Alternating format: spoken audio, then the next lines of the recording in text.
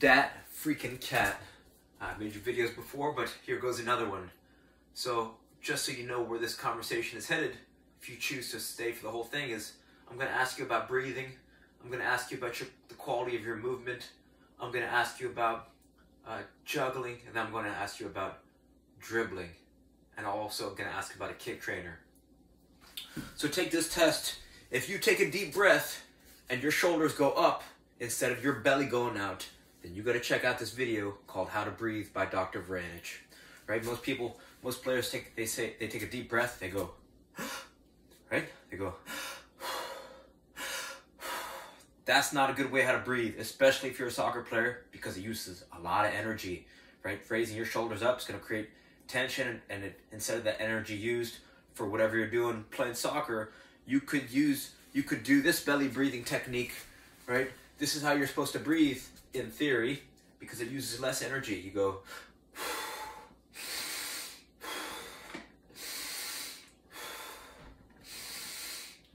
Right, that's that's Dr. Vranich belly breathing. V R A N I C H. Right, three minutes without air, three hours in an unhospitable environment, three weeks without food and water, you'd be dead. Three minutes without air. That's why breathing is the most important thing. So if the only thing you take away from this video is check out that Dr. Vranich breathing video, that'll change your life, I promise you. That's what I wish I knew 27 years ago. That's why I'm doing this freaking video. Because you want com- more composure as a winger, right? You want to score more goals, and if you can be more relaxed when you're, if you can't be relaxed when you're just at home in your kitchen, then right the way you practice is the way you play. You got to be able to be calm here because if you're if you if you haven't learned how to be relaxed when you're somewhere where you should be relaxed, then to expect yourself to be composed when you're in a high pressure situation on the field, it's just not going to happen. Right? It's not realistic.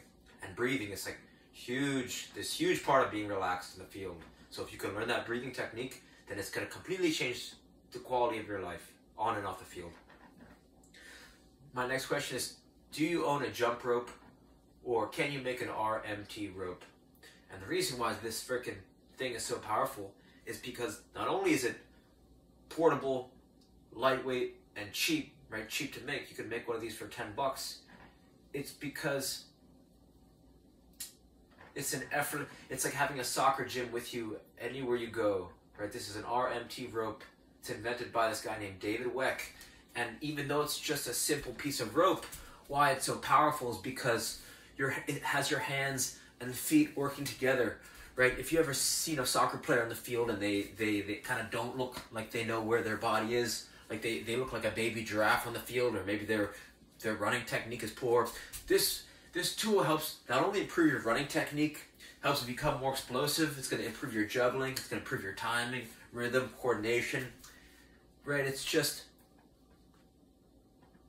it helps your hands and your feet talk together, right? It kind of harmonizes your whole body's movement.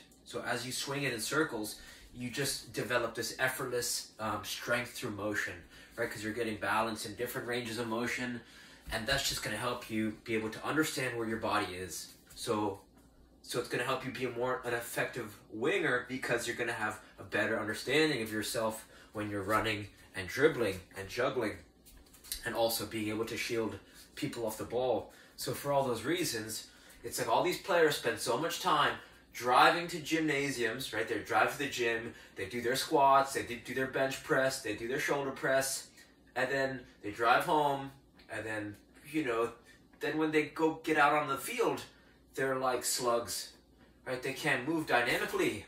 Meanwhile, you have people, right? You got some players who you get a, a rope, and then you just start to swing it around.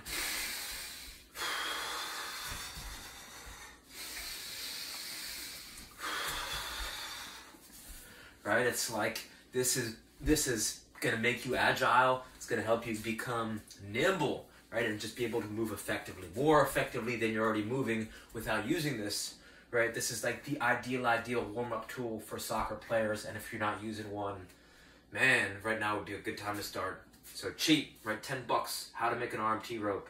David Weck, W E C K. And what this flows right into is a kick trainer right? You think about it's like okay, let's say, right, you want to score more goals. Well, it's helpful to understand where the ball the ball is going when it leaves your foot. So this is a tool that's just going to improve your timing, balance, rhythm, and coordination any everywhere you bring it. So you don't have to wait for a training partner. You don't have to go to a wall, and you don't need to lug around a rebounder. I'm not saying this ball and a rope is better than any of those things, but what I'm saying is there's no friction. You don't have to wait for anyone, so it removes a time component or the time it takes for you to actually go to a wall or, or you know, it's just you could you could in in 60 seconds you could get 60 touches, which means in 15 minutes while you're watching maybe some some soccer football on TV or or warming up before practice or a game, you can get you could get 900 touches effortlessly. So, you know, it's just it just helps you get out of your mind and into the ball, right? It's perfect practice. It's moving meditation. Nice and easy. And lastly, right, my question is, can you bring can you bring a ball everywhere you go? Right? Because then if you bring a ball everywhere you go, you can get more touches. And then in theory, the more touches you get, the more mistakes you make. The more mistakes you make, the more you'll learn. So alternating, right, rotating between juggling, right, juggling balls, both feet, and then dribbling, right? So you might not know this sequence. This is the Tom Turnbull dribbling sequence. It goes outside, outside, inside, outside, inside, outside, outside, inside, outside, inside, outside, outside, inside, outside, inside. If you repeat this over and over and over and over, it's gonna start to um, it's gonna internalize in your body, right? There's a mind-body connection. So this is super effective because it's going to allow you to not think about dribbling. And why that's important is because you don't want to think about dribbling while you're dribbling. You just want to dance around defenders. So it's going to help you develop awareness with the ball at your feet in a very relaxed and effortless way. So that's it. If you start to do rotations of these five things and stop spending so much time on doing things that don't help you grow as a player. But it's not just about doing these things, it's about not doing some things that are not going to help you grow. And the beauty of all these things that they're hyper portable, right? You don't need to go to a, right? You don't need to drive to a gym. You don't need to carry around a lot of BS. You could just fit all these, all this stuff in your in your school bag, your gym bag, whatever, right? You could bring a tennis ball, kick trainer, and a rope or a jump rope with you everywhere you go. And so for that reason, if you bring these things with you everywhere you go, then the world it almost turns into your soccer gym, right? You turn the world into your oyster, literally.